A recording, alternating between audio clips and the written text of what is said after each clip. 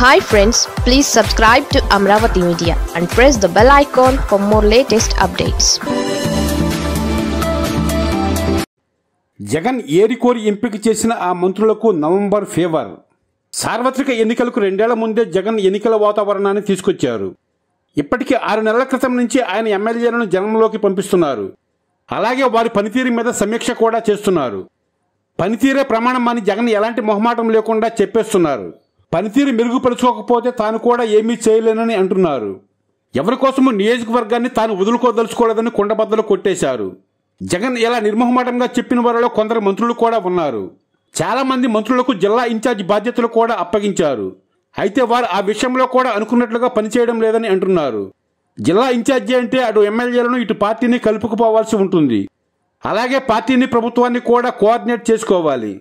టోటల్గా ఎక్కడ ఏ చిన్న సమస్య ఉన్నా జిల్లా ప్రెసిడెంట్లతో కలిసి సరిదిద్ది అవి ముదరకుండా చక్కబెట్టాలి. కానీ చాలామంది ఇన్ఛార్జి పదవులను కూడా అలంకారప్రాయంగా భావిస్తున్నారు అని అంటున్నారు. తమ మంత్రిత్వ శాఖలను చూసుకుంటూ తమకు అప్పగించిన జిల్లాల్లో పార్టీ బాధ్యతలు కూడా చూడాలి.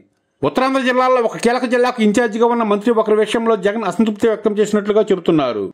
పనితీరు మెరుగుపరుచుకోవాలని ఆదేశించినట్లుగా చెబుతున్నారు.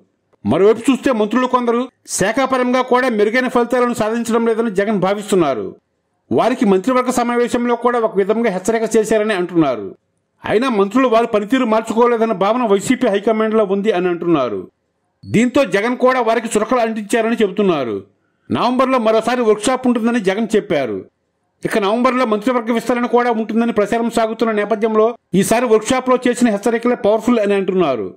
ఈ లాస్ట్ వార్నింగ్ని కూడా పట్టించుకుని ఎవరైనా మెరుగుపడకపోతే మాత్రం ఇక వారి పదవులకు ముప్పు వాటిల్లినట్లే అని అంటున్నారు. మొత్తానికి చూస్తే మంత్రుల్లో కనీసం అరడజన మంది డేంజర్ జోన్లో ఉన్నట్లుగా చెబుతున్నారు. వారు తమ పనితీరు మార్చుకోవడానికి అక్టోబర్ నెల ఒకటి మాత్రమే వ్యవధి ఉంది.